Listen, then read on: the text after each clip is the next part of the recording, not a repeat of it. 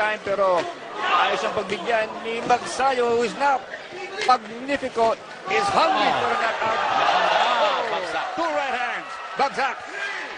Sumugat is hurt. And referee Haro administering the count. Seven. Eight. He is hurt. Okay lang? But he's ready to fight. Okay. Iba talaga itong bata na ito. Okay ka lang? The hammer, Sumugat, Okay. Box. and round. Seven. Eight. He is hurt. And referee Haro giving him the benefit of the doubt. Oh, another right hand by... He might stop it. Yeah, umatras na siya. na. Na siya, tama lamang. And there's the back flip. Backflip.